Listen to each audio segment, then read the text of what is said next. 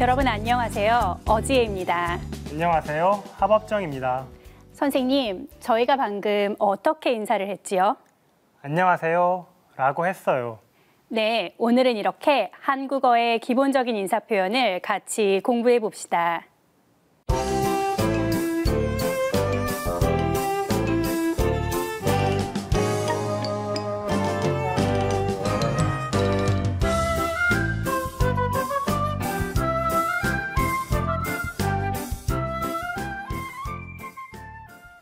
오늘은 6과 안녕하세요를 공부하겠습니다. 선생님, 오늘은 어떤 내용을 공부하나요? 네, 육과의 주제는 인사 및 소개입니다.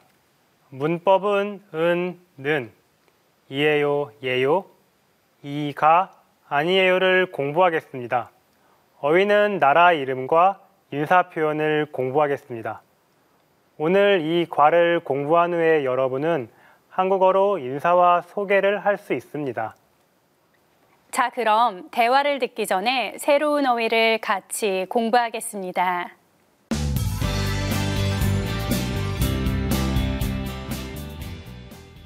오늘 배울 어휘입니다. 안녕하세요. 저. 반가워요. 네. 그럼 단어의 뜻을 살펴보겠습니다. 먼저 안녕하세요입니다. 안녕하세요. 안녕하세요.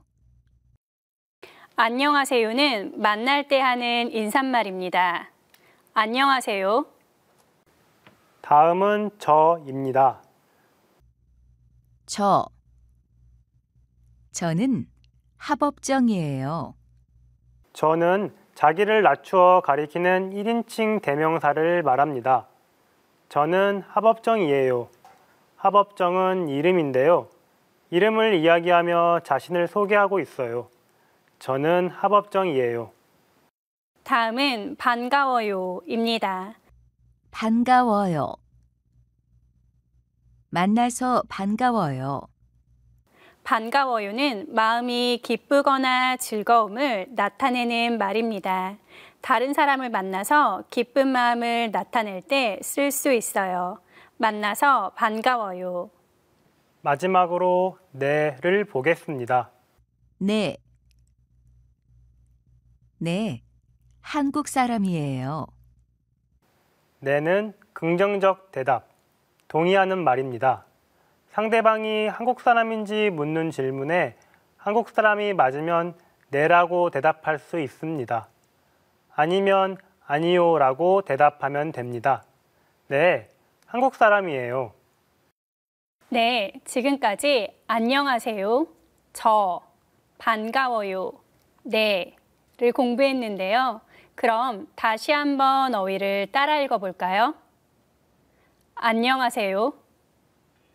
안녕하세요. 안녕하세요. 저, 저, 저, 반가워요. 반가워요. 반가워요. 네, 네, 네. 여러분도 오늘 배운 단어 여러 번 읽고 써보세요.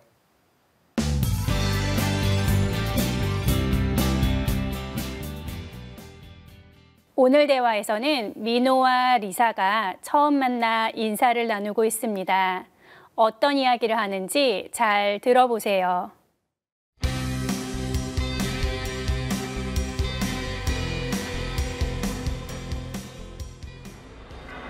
안녕하세요.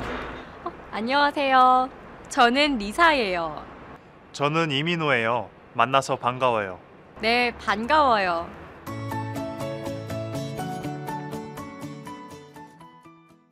여러분 잘 들으셨나요? 대화 내용에 대해 질문을 한번 생각해 봅시다. 여자의 이름은 뭐예요? 남자의 이름은 뭐예요? 두 가지 질문을 잘 생각하면서 대화를 다시 들어봅시다.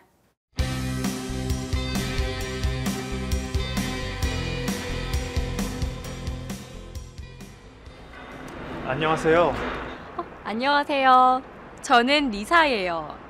저는 이민호예요. 만나서 반가워요. 네, 반가워요.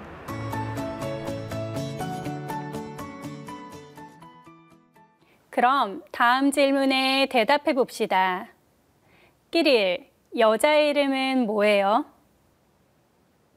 리사예요. 그렇죠. 아이텐, 그럼 남자의 이름은 뭐예요? 이민허예요. 네, 잘했습니다. 자, 이제 대화문을 같이 공부해 보겠습니다. 리사와 민호가 처음 만났어요. 안녕하세요. 하며 서로 인사를 해요. 그리고 리사가 먼저 이름을 이야기해요. 저는 리사예요. 그럼 남자의 이름은 뭐예요? 저는 이민호예요. 남자의 이름은 이민호라고 소개해요. 그리고 만나서 기쁘다고 인사하네요. 만나서 반가워요. 리사도 대답했어요. 네, 반가워요. 여러분도 대화 내용을 여러 번 듣고 연습해 보세요.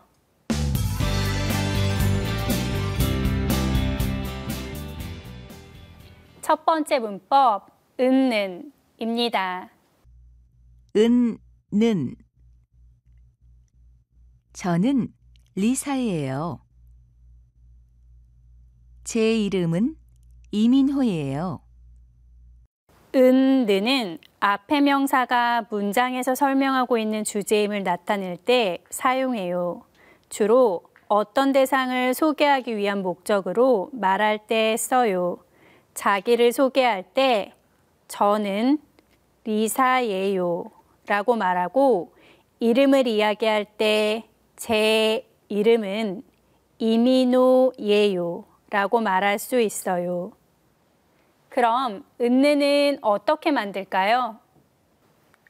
은, 느는 명사와 같이 사용하는데 받침이 있는 명사에는 은, 받침이 없는 명사에는 는을 써요. 이름, 이름은 저, 저는 이 됩니다. 다음은 두 번째 문법, 예요, 예요입니다. 이에요, 예요. 저는 이민호예요. 제 친구는 한국 사람이에요. 이에요, 예요는 앞에 명사를 지정할 때 써요. 이민호라는 이름을 이야기할 때 이민호 예요. 한국 사람이라는 것을 나타낼 때 한국 사람 이에요. 라고 말해요. 저는 이민호예요. 제 친구는 한국 사람이에요. 그럼 이에요, 예요는 어떻게 만들까요? 이에요, 예요는 명사와 같이 사용하는데 받침이 있는 명사에는 이에요, 받침이 없는 명사에는 예요를 써요. 학생, 학생이에요. 여자, 여자예요.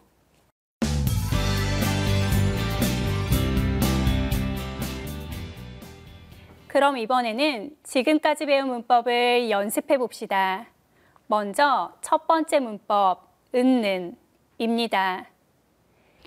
저은, 저는 무엇이 맞아요? 네, 저는 받침이 없는 단어예요. 그래서 저는 이 맞아요. 저는 한국 사람이에요. 끼릴 1번 문장을 맞게 이야기해 보세요. 이분은 한국어 선생님이에요. 네, 그렇죠. 받침이 있는 단어니까 은, 이 맞아요. 잘했어요. 2번은 아이텐이 해보세요. 선배는 중국 사람이에요. 잘했어요. 선배는 받침이 없는 단어니까 는, 이 맞아요. 3번은요? 선생님은 일본 사람이 아니에요. 그렇죠. 다음 4번은요? 지우는 학생이에요.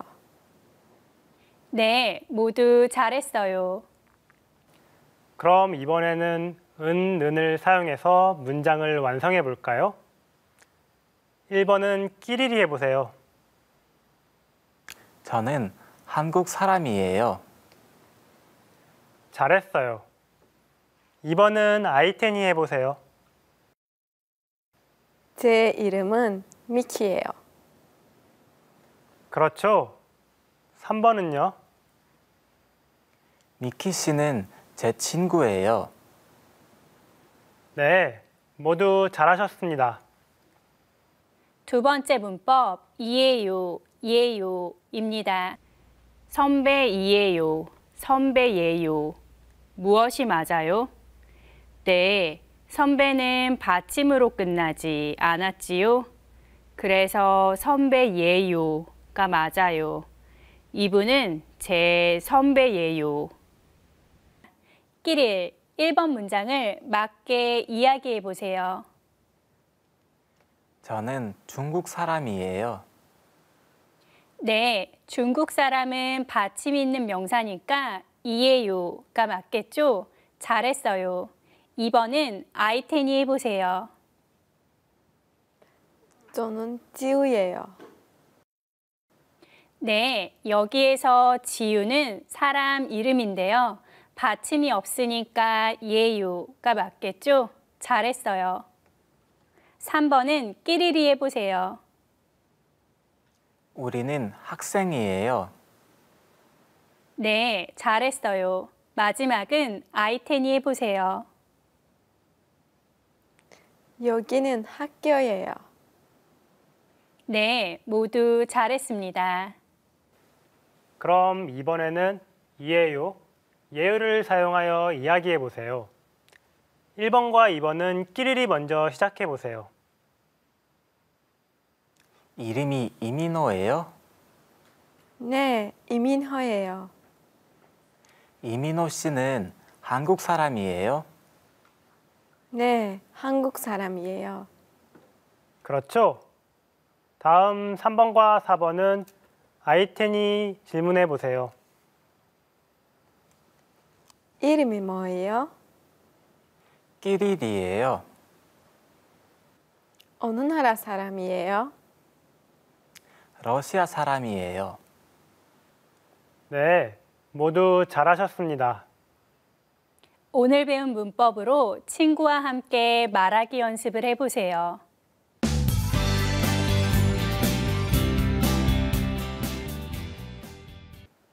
이번에는 발음과 억양에 주의하여 다시 한번 잘 듣고 따라해 보세요.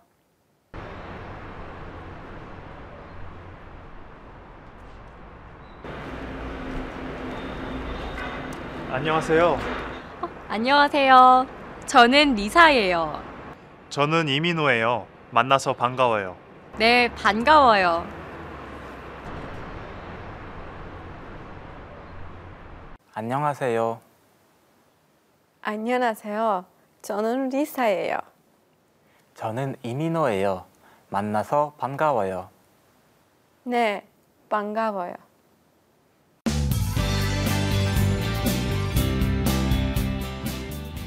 네, 여러분 모두 잘하셨습니다. 이번 시간은 어휘를 더 배워보는 시간입니다. 오늘은 나라 이름을 배워보겠습니다. 화면을 보고 따라 읽어보세요. 미국,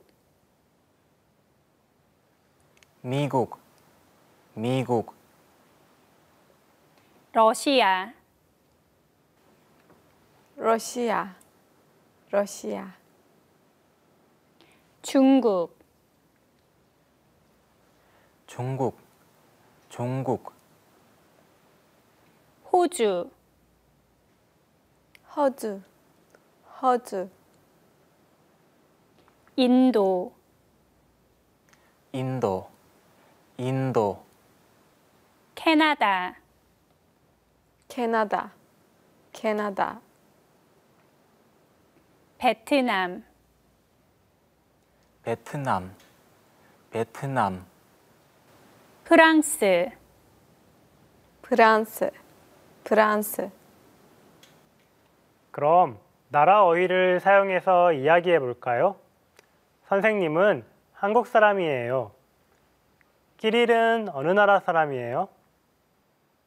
저는 러시아 사람이에요. 아이테는요? 저는 아제르바이잔 사람이에요. 잘하셨습니다. 여러분도 한국어로 자기 나라 이름을 말할 수 있겠지요? 다음은 읽기를 공부하도록 하겠습니다.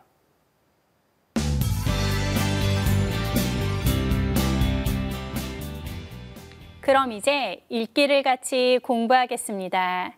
선생님, 오늘은 어떤 내용인가요? 네. 오늘은 리사가 친구들에게 자기 자신을 소개하는 글을 읽을 거예요. 한번 읽어볼까요? 안녕하세요. 제 이름은 리사이에요. 저는 캐나다 사람이에요. 저는 학생이에요. 만나서 반가워요.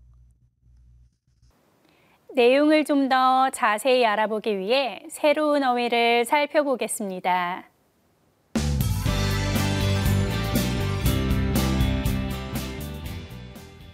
읽기 어휘입니다. 제 이름, 사람, 학생. 먼저 제입니다. 제. 제 이름은 하법정이에요. 제는 말하는 사람이 자신을 낮추어 가리키는 말인 저에 의가 붙은 저희가 줄어든 말이에요. 제 이름은 하법정이에요. 다음은 이름입니다. 이름. 이름이 뭐예요? 이름은 다른 것, 다른 사람과 구별하기 위하여 부르는 말입니다. 이름을 묻고 싶을 때 이렇게 질문할 수 있습니다. 이름이 뭐예요? 다음은 사람입니다. 사람. 저는 한국 사람이에요. 사람은 남자, 여자, 아이, 어른 등을 모두 일컫는 말입니다. 저의 국적은 한국이에요. 저는 한국 사람이에요. 끝으로 학생입니다. 학생. 제 친구는 학생이에요. 학생은 학교에 다니면서 배우는 사람을 말합니다. 여러분도 한국어를 배우는 학생이에요. 제 친구는 학생이에요. 모두 잘하셨습니다.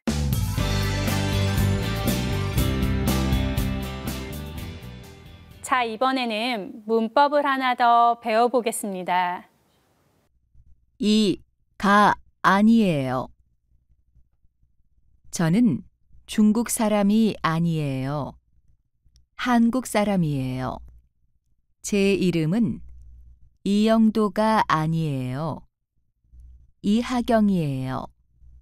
이가 아니에요는 앞에서 배운 이에요, 예요의 부정 표현이에요. 그래서 앞의 명사에 대한 정보를 부정할 때 사용해요. 중국 사람이 아니라 한국 사람이라는 것을 말하고 싶을 때 저는 중국 사람이 아니에요. 한국 사람이에요. 라고 말해요. 그리고 다른 사람이 나의 이름을 잘못 알고 있을 때 제 이름은 이영도가 아니에요. 이하경이에요. 라고 말해요. 그럼 이가 아니에요는 어떻게 만들까요? 이가 아니에요는 명사와 같이 쓰는데 명사에 받침이 있으면 이 아니에요. 받침이 없으면 가 아니에요를 사용해요. 학생, 학생이 아니에요. 가수, 가수가 아니에요.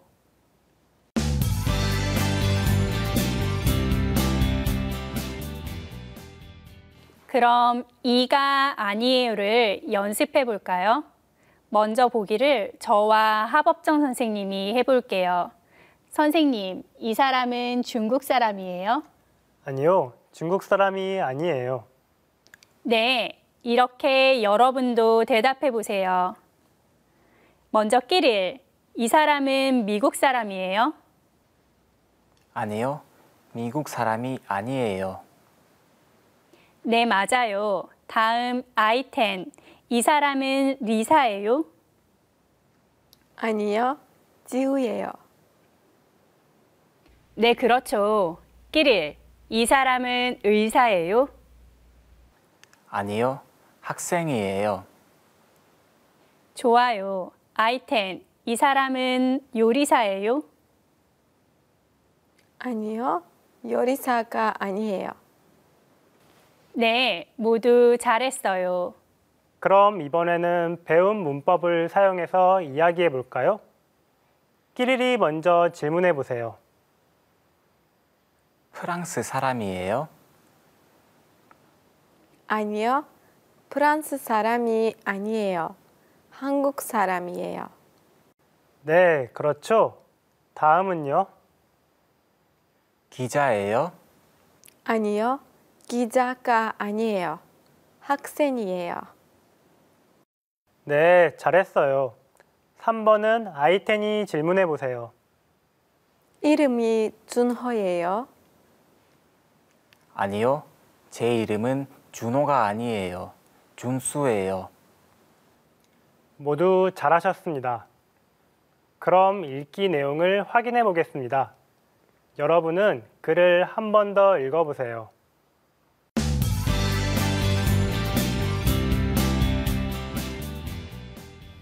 그럼 다음 질문에 대답해 볼까요? 끼릴, 이름이 뭐예요? 리사예요. 네, 그렇죠. 그럼 리사는 선생님이에요? 아니요. 학생이에요. 그럼 리사는 어느 나라 사람이에요? 캐나다 사람이에요. 와, 참 잘하셨어요. 그럼 정답을 다시 한번 확인해 보겠습니다. 리사가 지금 자기소개를 하고 있어요. 이름은 리사이고 캐나다 사람이에요. 그리고 학생이라고 했어요.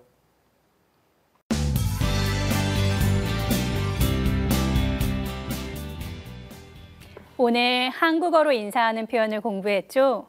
이번 시간에는 기본적인 인사 표현을 조금 더 배워보겠습니다. 먼저 잘 듣고 따라해 보세요. 안녕하세요. 안녕하세요. 안녕하세요. 안녕하세요. 안녕히 가세요. 안녕히 계세요. 안녕히 가세요. 안녕히 계세요. 안녕히 가세요. 네, 안녕히 가세요. 안녕히 가세요. 네, 안녕히 가세요. 죄송합니다. 괜찮아요. 죄송합니다. 괜찮아요. 축하합니다. 감사합니다. 축하합니다. 감사합니다. 그럼 배운 문장으로 이야기해 볼까요? 끼리리 먼저 대답해 보세요. 안녕하세요. 안녕하세요. 네. 다음은 아이텐이 대답해 보세요. 죄송합니다. 괜찮아요. 네. 모두 잘하셨습니다.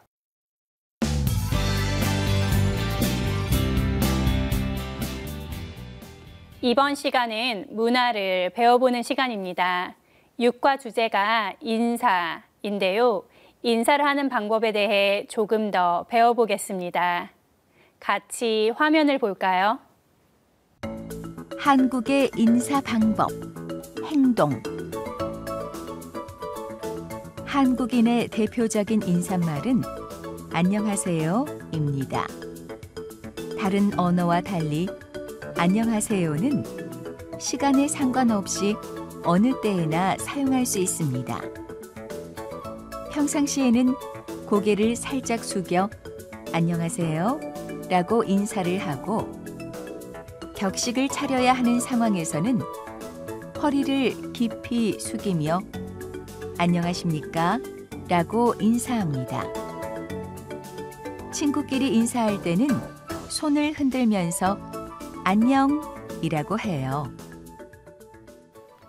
오늘은 한국어로 인사와 소개를 하는 법을 배웠습니다.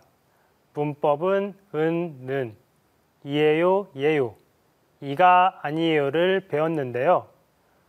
은, 는은 문장에서 설명하고 있는 주제를 나타낼 때, 이에요, 예요는 앞에 명사를 지정할 때, 이가 아니에요는 명사에 나온 정보를 부정할 때 사용한다는 점 잊지 마세요.